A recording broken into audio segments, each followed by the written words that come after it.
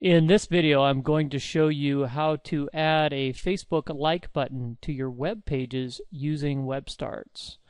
First, choose the web page that you would like to add your like button to and click on the edit page icon to begin editing it. Once your page editor lo is loaded, click on the Facebook like button icon. Then choose the like button style that you would like to add to your page. I'm going to choose this middle one.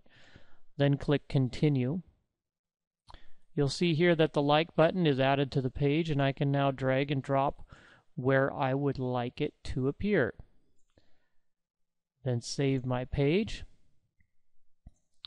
And then I take a look at my live website and you'll see I have a Facebook like button right where I placed it on my page, and my site visitors can now click on that, and when they're logged into their Facebook account, it'll actually share that right in their Facebook feed. So it's a great way to drive some viral traffic using Facebook and WebStarts to your very own website.